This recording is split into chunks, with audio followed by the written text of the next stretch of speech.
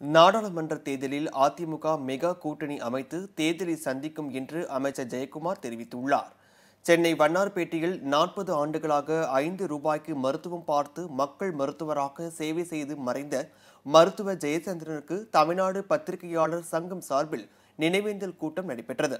இதில் அமைச்சர் ஜெயக்குமார் விடுதலை சிறுத்தைகள் கட்சி தலைவர் தொல் திருமாவளவன் நடிகர் கே. ராஜன் உள்ளிட்டோர் பங்கேற்றனர். முன்னதாக பேசிய ஜெயக்குமார் உலகில் மக்கள் சேவையை மனதில் கொண்டு நாற்பது ஆண்டுகளாக தன் வாழ்வை மக்களுக்காக அர்ப்பணித்த ஜெயச்சந்திரன் போன்று இளம் தலைமுறையினர் மக்கள் சேவையை தொடர வேண்டும் என கேட்டுக்கொண்டார்.